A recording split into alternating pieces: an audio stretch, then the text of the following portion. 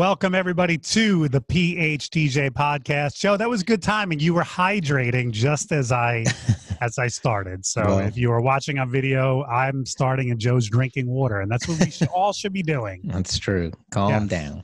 We Uh, actually this is our second attempt at this because we we recorded something this morning and and uh, it didn't work out. I'm not gonna I'm not gonna lay blame, but it just didn't work. But I'm actually glad because there was one thing that I wanted to talk about and I forgot. So Yeah, uh, now now is my chance to to not leave that out. that's true. Um, how are you? You got anything? You got anything you want to talk about? Anything? no, man, no. In the new? Industry? Yeah. Any new? You want to do a music uh, po- podcast? You want to talk about new releases or No, I Yeah? don't think. any Uh, other topic that might be on our mm, listeners' uh, minds? New gear, hot new gear. yeah, hot new gear. Yeah, Yeah, I uh, don't we think can it's. learn the get up dance finally together. Yeah, I don't think that's. Uh, I, I don't think that's the topic at all, man. We Probably not. we obviously uh, are. Uh, we're gonna. We're recording this on March 18th. I think we're gonna try and drop it the same day if Mike can get it edited. Uh, we're both crazy busy, as I'm sure you all are. Uh, just feeling the effects of the coronavirus situation with the entire world, really, and the events industry in particular. So, Pretty much. Yeah. so, so kind of rewind us back, Mike. I remember this morning we talked about this. You know how you and I had made this the last podcast. Let's kind of start from there, and then Yeah, so two weeks ago, you and I recorded a podcast um, Yeah. that was supposed to land tomorrow, which would have been March 19th. yeah, And our topic at that point was, and that was when we were supposed to be at Mobile Beat this week. yeah, And the topic was about this coronavirus, which at that point, two weeks ago, it was obvious this thing was going to be a thing. yeah, But I don't think either you or I, or probably most people outside the medical industry, would have predicted it that it was going to be this big a thing. right. Uh, any, if anybody wants to take me to task on that, I'm fine with that. Uh, maybe other people saw this coming, but um, but I still go back to that. I listened to that podcast. So anyway, we dropped that. We pushed that podcast out earlier Yeah, we did. once uh, once it became uh, you know obvious that this was Yeah. going to be uh, impactful and let's not bother waiting till March 19th. Uh, but I'm proud of that, Joe, because ahead of the curve, you and I were pretty much our message was to the industry Yep. and to DJs try to postpone these events and that Push. has been Yep. you know since monday and that's pretty pretty much occupied 95% of my time since monday has been couple after couple after couple after client because they're not all weddings just contacting us and thankfully the vast majority are postponing has Yes. that been your experience as well It has in terms of the wedding market. The, the uh, corporates are seeming to cancel. Um, we have had a few people that are that are in the wedding thing, and they're just saying we've hit the wall. We can't go on. We've got to. our hearts can't take it. Our brains can't take it. Our souls can't take it. We're pulling the plug on this thing. So we have had a few weddings canceled, several corporates, but for the most part, Mike you know, fingers crossed, I feel like a, a, a little bit lucky, quite frankly. Well, yeah, I don't know if luck has anything to do with it, but I, I, I think it's great that that the vast majority of brides aren't throwing their hands in the air and saying, Right. "Fuck it, I don't want to get married." This is too much. Most of them are saying, "Well, this really sucks.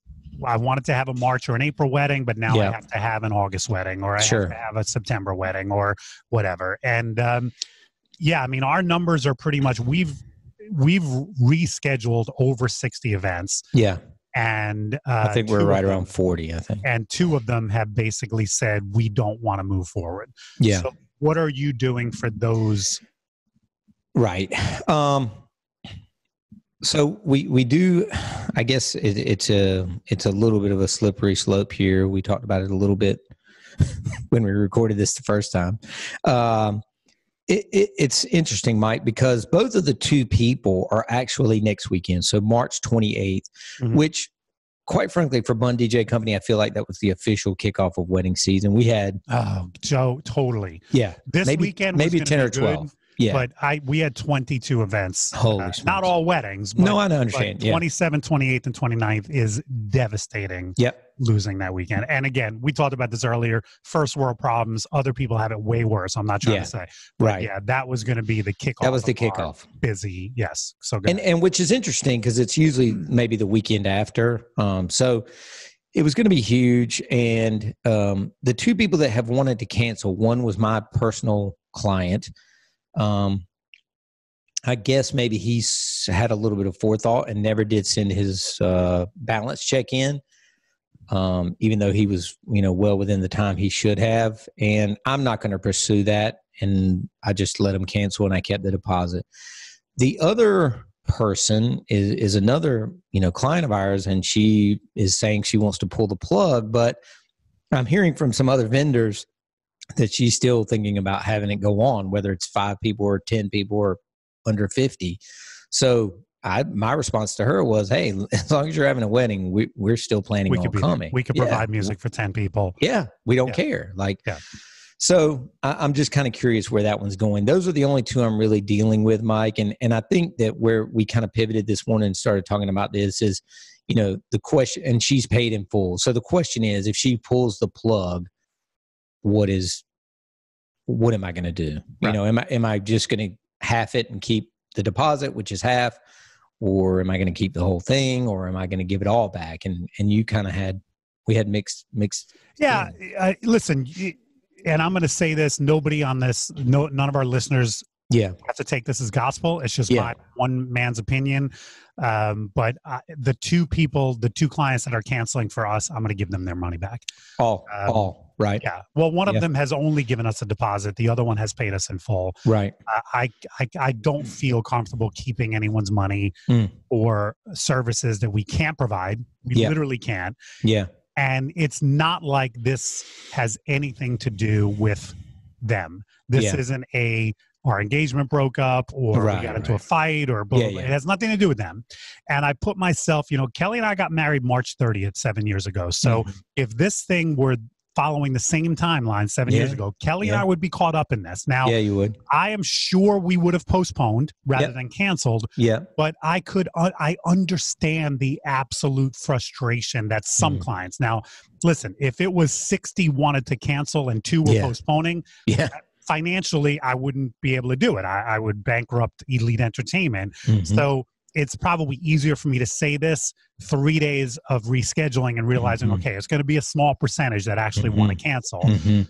But for those all I've done with those two is it has said let's talk next week. yeah i do like this I just want to see if after a week they change their mind because sometimes it's human nature when shit hits the fan to just quit and go Mhm. ah screw it. I don't want to get married. But Mhm. but maybe after 7 days and seeing and listen Facebook is filled with brides telling these stories of hey we had to postpone we had to reschedule. The Yep. vendors have been great. Everyone's been kicking in. Maybe after 7 days they'll say yeah you know what? We called our banquet hall. We found a new date but if next week both of these clients still are adamant i am i'm going to return the money Yeah, man, it's tough. It, it is really tough. I, I, I don't for I foresee her. I, I'm going to do what you suggested first. I'm going to say, hey, and, and again, I did send her an email today. We talked to some other vendors. It sounds like you're still doing this. We're going to be there come hell or high water, and, Right. and haven't heard back from her. So she may have pivoted. Maybe she is still going to try and do it on the 28th. Hopefully, though, she postpones. Um, I, I think at at most I would keep her deposit. I, I'll be honest. I just, I'm, I don't know that I would return it all. I, I guess. Um, I did though, Mike, and and this is kind of where we shifted the conversation this morning in terms of taking care of the DJs and talking about the DJs. I had only had a couple of guys reach out to me about, you know, what about us? What about getting paid? Because the only full timer here is obviously Randy, and he's, Right. you know, makes weekly money plus his money on his shows. And so I, I, I after the the original recording of this this morning, I did reach out to the guy that had had said, you know, what what are we, what if we need money, or you know, what are we going to do? Like, for example, let's say this guy that I spoke to, one of my DJs was on 328, he was booked and he got canceled. Or I'm sorry, say they pushed to August, postponed right postponed to August, then I would still pay him on the 29th or 30th. You know what I mean? And that was not my policy when you and I talked this morning. And you said you had kind of reached out to your guys and said, look, if you guys need the money, you know, I will pay you from the original date. And then just know that when August comes and the rescheduled date comes around, you've already been paid. You know? Yeah, that's the offer I made to my staff. Yep. I sent everyone an email on Monday and I, I went through a few things. I believe I posted that in the PhDJ graduate uh, page if you want to see that, if you're a PhDJ graduate and you want to see that email. But I basically, A, I told my staff if any of your events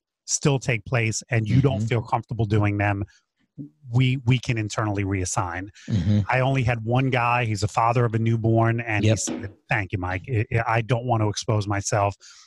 Fortunately, not all of his events have postponed anyway. But he basically said, "Yes, I'm not going to feel comfortable doing any of these weddings Yep. uh, for this foreseeable future." I also said to my staff, "Just be prepared if any of your clients postpone to a date where you're blocked off." Right.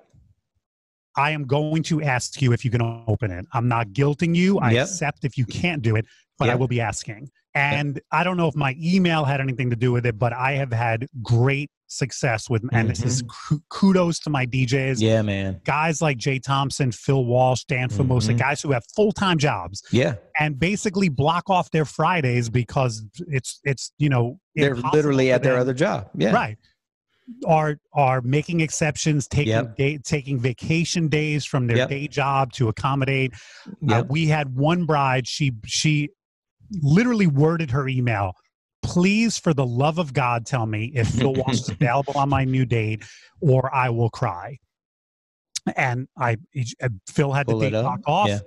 I called Phil. Phil, will you open it? He said, Of course I'll open it. I emailed her and she was like, Oh my God, you made my day. Yeah. So that was point number two that I sent the email to my staff. And then I also said to my DJs, if you if any of your events get postponed Yeah. and you needed that money now, Yeah. I will pay you that money now for the future event. I knew going into it, I, I know you're about to say something. Let me just say, I That's knew right. going into it that only two of my DJs Yeah. Right. would probably take me You up. weren't going to get flooded. Right, because m- most of my guys, like we just said, full time. They have a full time job. That's Yeah. their income, Yeah. and this is gravy to them, or secondary, or you know. I know one guy who basically takes all of his DJ money and it goes right into his retirement fund. Good for Smart. him. He Smart lives on guy. his, he lives on his salary. This is his so smart guy. But you know, the two guys that I have that are basically full time at this, it's you know they have bills to pay now. They Yeah. have a mortgage. They have Yeah. you know food to put on the table for their Yeah. family.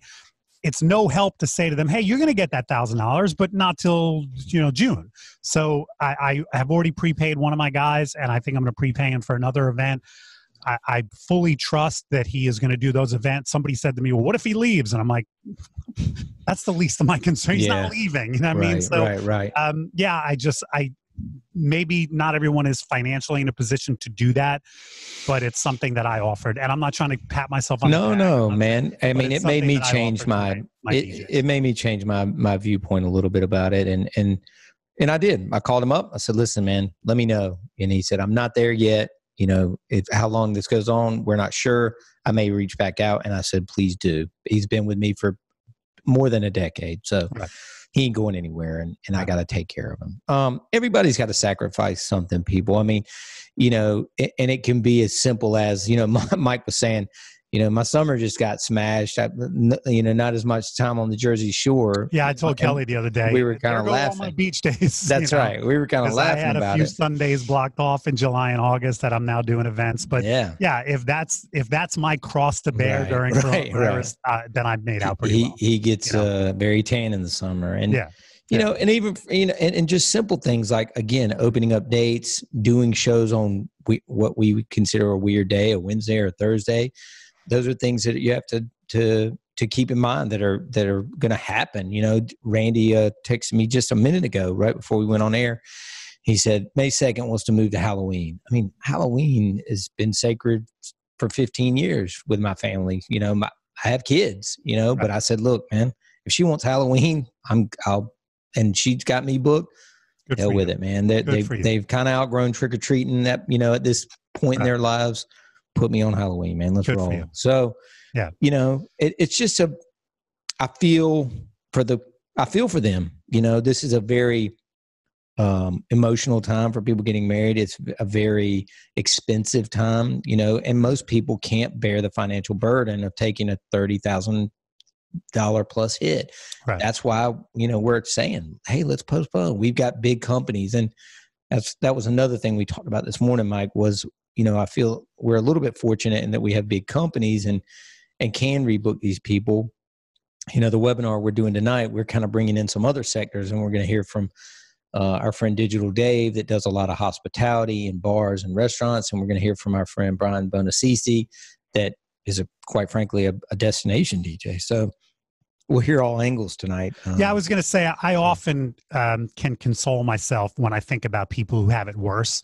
Yeah, and you know the fact that I'm not going to make as much money now, and it's just going to get pushed back to later in the year. Yeah. Well, you know what? My 2020 financially, when all is said and done, will probably look similar. Yeah. If you know whether there had been coronavirus or not, but somebody like a Digital Dave, mm. he's missing out on nightclub nights that aren't going to get posted postponed. Yeah. They're gone. gone. Like the, you know what I mean? And and mm-hmm. he's and anyone any one of our listeners that doesn't know who we're talking about, Dave Lander, Digital Dave, phenomenal DJ out of Pittsburgh. Mm-hmm. If you mm-hmm. don't follow him, you should follow mm-hmm. him on, on social everywhere else. Mm-hmm. He is putting an amazingly positive spin on this. Yeah. I saw a post the other day about him spending time with his kids and you know and everything else, which is a great way to console yourself during this time. But yeah. that's lost income for him. I mean, I, I, don't know Dave's financial position. I don't know whether he can afford a month or two of no income, but right. it's difficult. I'm going to get this money back later down the road. Yeah. You know, um, people in the hospitality, my, my sister got laid off from her restaurant. I was going to ask. And they basically that. said, you know, we'll hire you back when yeah. things are back to normal, but we yeah. don't need a, a service manager for breakfast when our when we're closed. Wow. So uh, that's lost income. You know, I mean, my sister's not going to, she, maybe she can collect unemployment, but she's not yeah. going to get what she was getting. Yeah. And, you know, there's only so long you can sit at home and stare at a wall before it becomes like, okay, what the hell's going on? Let me get back to right. work. Right. And there's no work. So, we, so, we, so as much as it's tough for us, a lot of people have it a lot worse. So there's there's over 400 people registered for that webinar tonight, guys. I'm gonna uh, give Mike the link, and so when he posts the uh, podcast in a little while, he'll I'll, I'll send you the link, Mike. and so this, this, is not for just for Vault members. You're doing no, this for this is yeah. This is anybody events industry is it's open tonight. It's over 430 people signed up. Mike's going to be on, um, and I'm going to be on. Brian Buonassisi, Jason Jani and I've got a lawyer from one of the largest software companies in the world that specializes in contracts. She's going to come on and answer legal questions that we probably shouldn't be answering because we play records and don't. Right. never went to law school. And by um, the way, um, speaking about giving out free content, because I think that's yeah. wonderful what you're doing, uh, Ryan and Jake from Mobile. Yes, that's I, I think they deserve a, a, tip of the cap because. Yep basically what they did and first of all what a what a harrowing situation for them all last week Gross. as as the NBA put their season on hold and Major League Baseball, NCAA them, tournament, everything. For them to be staring at this convention that was supposed to start on Monday, probably knowing this isn't, uh, we're going to have to postpone, yeah. but they kept putting it off, putting it off. Finally, what was it, Friday afternoon? Yeah uh, they pulled the plug, and I, I, I, don't blame them for waiting as long as yeah. they did, and I don't yeah. blame them for doing it. But man, what a tough position! My heart breaks for both of them. Uh, but especially turn, it being Ryan's last year, right? Especially right. But to turn lemons into lemonade, they are now offering the content. Uh, any speaker, and I think all but two have have ponied up. Yeah. Um, anyone who was going to give a seminar this week is offering online. So I know that's actually going on probably as we speak. It right? is, Yeah, um, it's going on. So it's mobilebeatlasvegas.com slash live. And all you got to do is just, it's free. You just go on, register, and you can start watching right away live. And so tomorrow, which is March 19th, Mike uh, and myself will be on. I'll be on at noon Eastern Standard Time, and Mike will be on at 6.15 Eastern Standard Time. Again, I'm at noon. Mike's at 6:15. But just tune in for the whole day. Minimize, minimize it in the bottom of your screen. Yeah. Today, if you if you get get on there in time and and just learn. Yeah, yeah. You mentioned uh, this morning how you're kind of blocking the news, and I'm actually sitting here with CNN. On, I know you are. uh, but but you know what? I should turn off CNN after a while. I think it's important to stay informed. I think it's important that all of us it now is. more than ever. But it can become overwhelming. Yeah. Um, and, and at some point, I I should turn it off and I should turn these mobile beat presentations on Yeah. and other live content like that because uh, there's two things you can do during this. You can either wallow in it or you can use this time to improve yourself and get better Yeah. and and things like that. And I know that was one of the things that you referenced earlier. Um, there there's some good ideas that you have about you know how to utilize this downtime. Yeah, we've talked about it on on podcasts. You can go back and listen to it. There's stuff in the vault. Again, I'm I've got Digital Dave on uh, the next uh, webinar, which is March 25th, a, a week from today, and he's going to be. His title is literally called "Shit You Can Do During Your Downtime." So Right. he, he's he's going to talk about organizing crates and finding music and everything. Like you know, we, we've got to utilize this time. We got to all stay positive. We got to know that when people are- come back out, they're going to be ready to to rage. I Right. know I'm going to be ready to rage. I might even start leading line dances. Who knows? You know, I, I was talking to one bride who was postponing for June, yeah, and she said, "My concern is when this is all yeah, said and done, are people really going to want to celebrate?"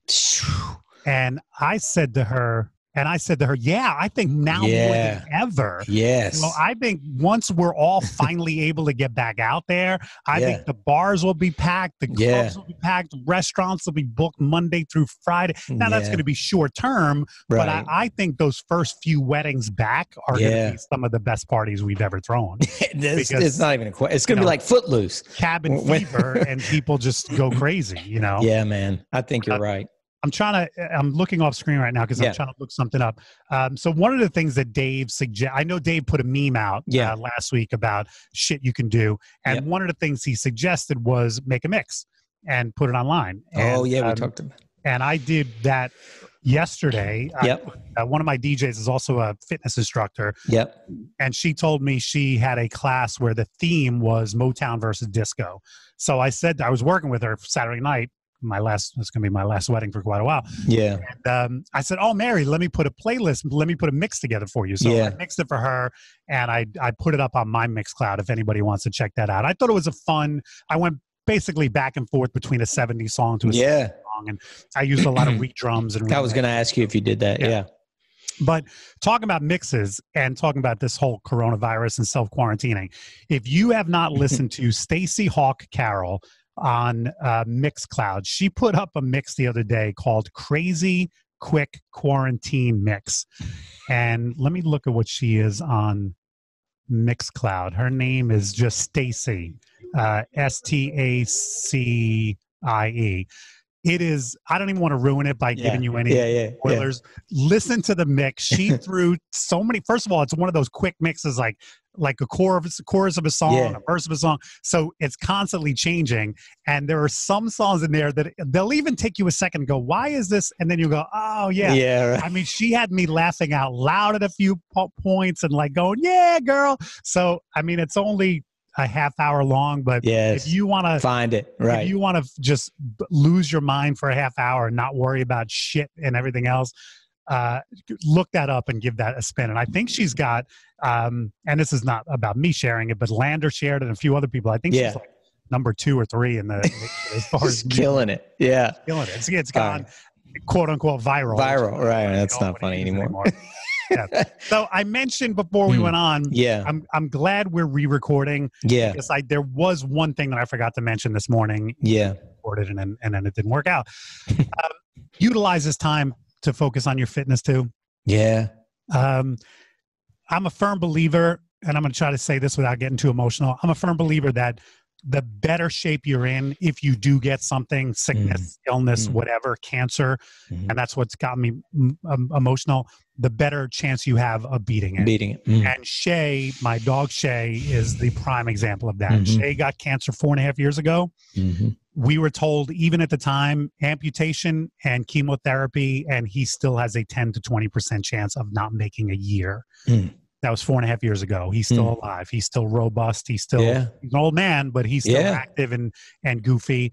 And i think a huge part of that was the condition shay was in. Shay was my running partner. Yep. he would run probably you know 20 miles a week with me easily Um, he was lean. He was in Yeah. great condition. He had to have one of the greatest cardiovascular systems of all time. yeah, And I do believe that the reason he beat the odds and beat cancer was because of the condition has to he was in. Yeah, And so think about that. We all are finding ourselves with a shitload of d- downtime. yeah, I I mean, not me. I've been in the office 12 hour days rescheduling gigs, but most, I see so many posts about people who are self quarantined and yeah, staying home and, and staring at the wall. yeah. You have no excuse not to get down in your basement and work out for an hour and, you know, whatever. There's a lot of online classes you can look for. Yep, tons. So, but focus on your fitness during this time, um, because a, I think we'd all agree you're in better, you're in a better position in life if you're in better shape. But b, God forbid you get this coronavirus. I think the difference between it being a bad cold and hospitalizing you and perhaps even killing you Health. is probably the condition. That's why the elderly are more are more at risk. Yeah. You know, I actually I never thought I'd have this conversation with my mother last week, but I Mm-hmm. urged her to stop going to the gym Me too. I'm so proud of my 76 year old mom. She goes to Me the gym five days a week. Same. My mom too. And I think half of it is social. She's got a bunch Yeah, of yeah, girlfriends there. Yeah, But who yeah. cares? She's in a gym Yeah. for a couple hours. Work. But I said, Mom, please, for the next two or three weeks, Me and now it's going to probably be even longer, just stay at home, work out at home, walk up and down the stairs, do something, but don't go to the gym. So, anyway, I had the same that was one conversation with my mom. Yep. Yeah, she's yeah. 75 and she's in there. She walks with her girlfriends and then she goes to the gym and I'm just like, "Mom, you got to you got to pump the brakes for a, a minute." Well, I think as it turns out, I think New York has shuttered gyms, so Right, I probably just had that conversation a week early. But um, yeah, anyway, that was the one message that after we got offline this morning, Yeah. like, oh damn, I wanted to mention that. Well, I'm glad We're we, all talking about utilizing. Um, so I'm glad the recording. I'm glad I screwed up the to get that recording. Yeah. Um, yeah. There's a lot of things you can do during this quote unquote downtime. Yep. Um, one of them should be, you know, Kelly and I yesterday did a basement workout Yeah. together. That's awesome. Um, there's a lot of things you can do to focus on your fitness. Well, everybody, hang in there. Uh, again, there's a lot of stuff going to be coming out online. Um, you know, again, t- tonight, which is March 18th, we got the webinar. Uh, we'll put the link down below. It's open to everybody, not just Vault members. Uh, we also have uh, tomorrow mo- and today as well, Mobile Beat Las Vegas. Um, dot com slash live. Um, Mike, didn't you want to share an email? Yeah, I just well opened this up. Um, Yeah. So if you are looking for how to deliver this message to yeah, yeah, your yeah, clients, if you're looking for how can I explain to them that postponements are Mm. so much more helpful for my business, not Critical. only, critical for my business, rather than cancellations in which you want to refund. Mm. Kelly and I, I had the first weekend in April off, and Kelly and I had booked a bed and breakfast in Princeton, Mm. not far from us, but we were just going to have a nice one-on-one romantic weekend.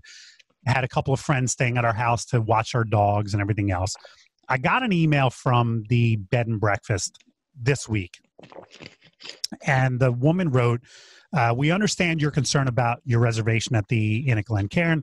Uh, this is a very uncertain time for all of us, and we understand that travel plans have changed dramatically and events have been canceled. Hmm. We are a small business and will be negatively impacted by these cancellations. So we are asking you, in good faith, to work with us during this chaotic time." If possible, please allow us to rebook your stay for a time to be determined at a later date. If this is not possible, please contact us via phone. We are not in a situation to furlough our staff, and our Mm. business has come to a halt recently.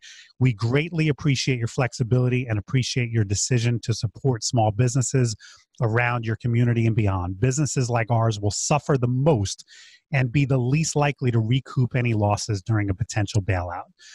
I actually called this woman and I said, Lydia, I completely understand. I'm a small Mhm. business owner myself. I Mhm. think your email was wonderful. It was well received.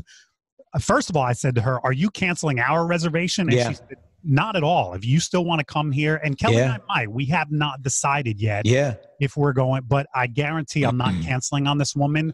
I will postpone. Kelly and I will find two nights later in the year because I get it. And I just Yeah. thought this email, you know, if you're looking for a way to message this to your to your clients, I, I you know, you can steal that word for word or take bits and pieces. yeah, if you like. exactly.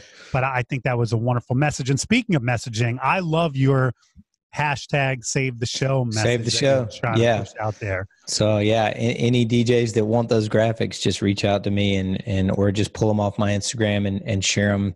Um, feel free to uh, save the show is the hashtag. I think that's the message. uh, I mean, we have been since Monday, but I think that's the message message that all of us in the industry need to convey is don't cancel, postpone, push it Yep. off, find a new date.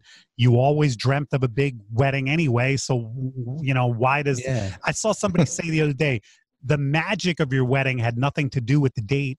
It had to do with you and your loved ones and your family Mhm. and everything else. So, Mhm. so what if it's not March 28th? So what if it's June 25th? So Yep. what? Yep. Find another date. So, Yep. um, anyway, I guess we'll we'll leave it on that, right?